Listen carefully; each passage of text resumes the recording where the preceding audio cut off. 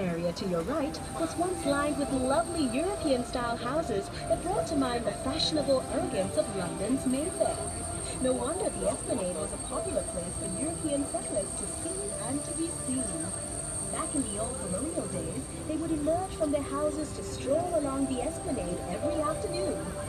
Here they would enjoy the sea breeze, exchange gossip, and perhaps even indulge in a little innocent flirtation.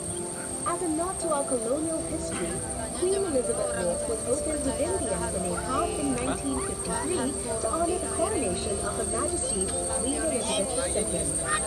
You have time, this park on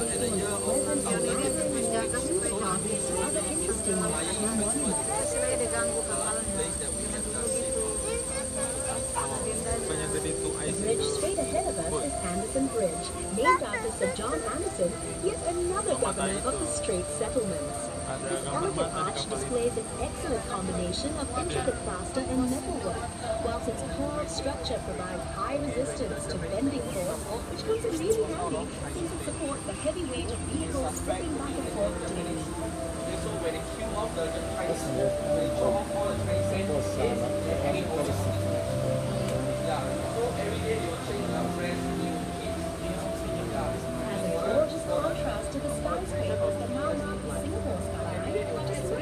and you'll see sitting grandly before us three beautifully preserved buildings that commemorate Queen Victoria, the Empress of India. The Victoria Theatre and Victoria Memorial Hall, which features the clock tower, are both historical monuments dedicated to the performance arts.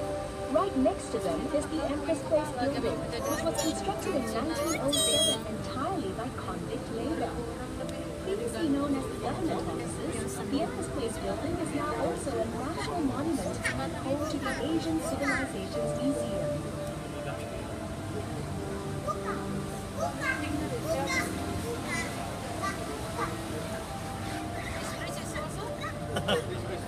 The Asian Civilizations is a treasure trove of history and culture that will introduce you to the world of Asian traditions. The museum features over 1,600 treasured artifacts and 14 geographical zones and includes a Singapore River gallery dedicated to the history and the people of our river. Be sure to check it out for an even more intimate picture of the things you've seen and learned on this river cruise.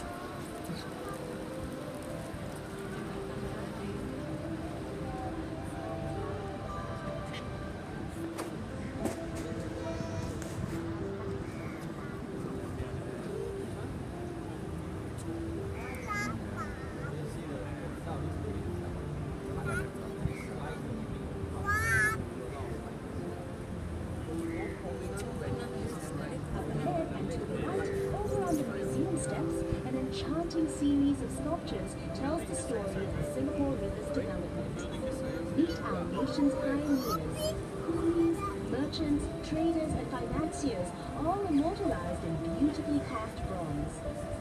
There are many other surprising sculptures that dot the Singapore River promenade, and if you decide to take an exploratory walk, we promise you won't be disappointed.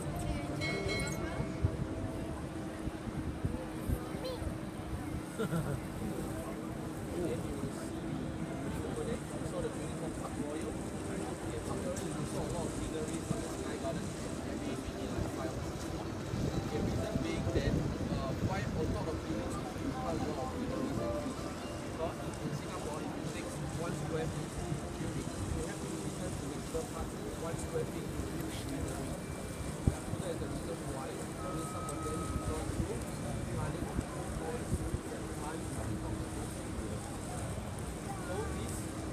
We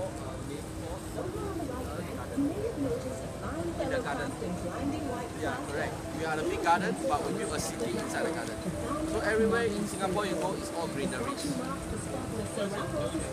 This one, the one with the thing.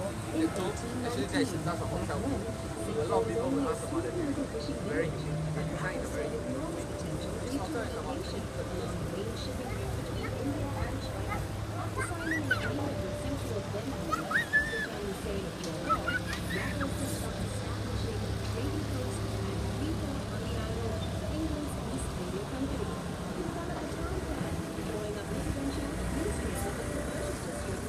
the riverbanks of this budding island city.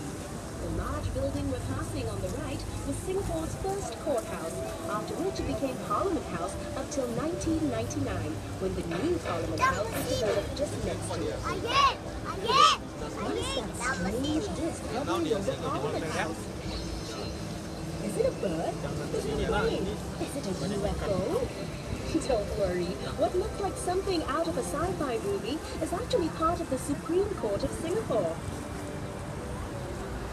Now, this is Elgin Bridge, named after the then Governor General of India, Lord Elgin. Originally, the bridge served as a link between the Indian merchants on the north side of the river and the Chinese community on the south side in the days of our colonial past. We're now